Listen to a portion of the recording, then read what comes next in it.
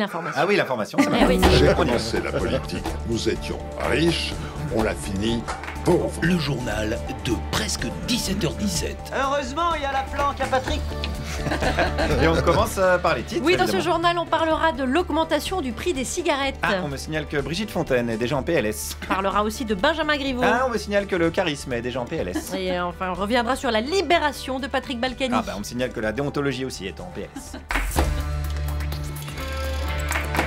On commence donc avec la politique et euh, la breaking news, Patrick Balkany vient d'être... Oh, Ça y est Il est free, Patoche, on est heureux. on est heureux. C'est notre Nelson Mandela, nous. Euh, oui. Et on a la, la réaction d'Isabelle Balkany devant la prison qui était suivie par une équipe de BFM TV. Retour à la maison et serpillière, je pense séance de serpillière ce soir parce que je pense que nos trois toutous vont être tellement contents de le voir qu'il va falloir euh, essorer euh, quelques pipis. Voilà.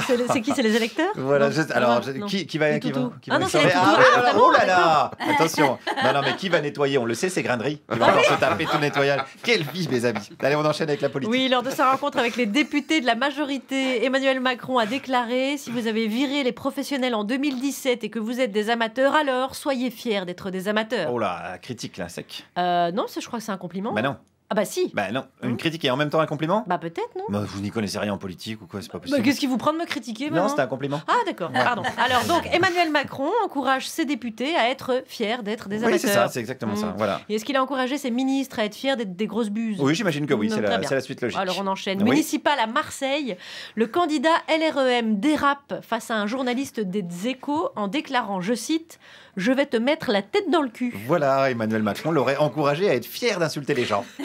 Une page réconfort à présent. Hier soir, le président a réuni les députés de la majorité à l'Élysée. Il a déclaré On réussit ensemble ou on échoue ensemble, reprenant ainsi le Live Together, Die Alone de la série Lost. Oui, et je rappelle que Lost est la série dont la fin a le plus déçu ses fans, hein, quand même.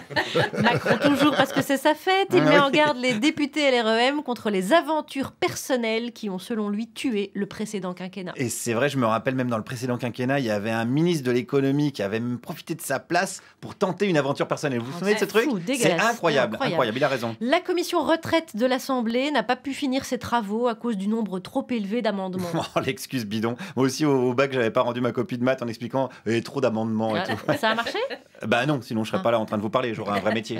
C'est officiel. En mars, le paquet de Marlboro va passer la barre symbolique des 10 euros. Oui, et bientôt ce sera moins cher de rouler les cigarettes directement avec des billets. International maintenant, Bernie Sanders a terminé premier des primaires dans le New Hampshire, devançant Pete Buttigieg. Mm. Pete Buttigieg. Attendez, Pete. Justice à présent. Voilà, à Rennes, un homme qui s'était tiré lui-même dessus avec un revolver a écopé de 8 mois de sursis. Oui, toujours rien contre Benjamin Griveaux qui se tire une balle dans le pied lors de chacune de ses interviews.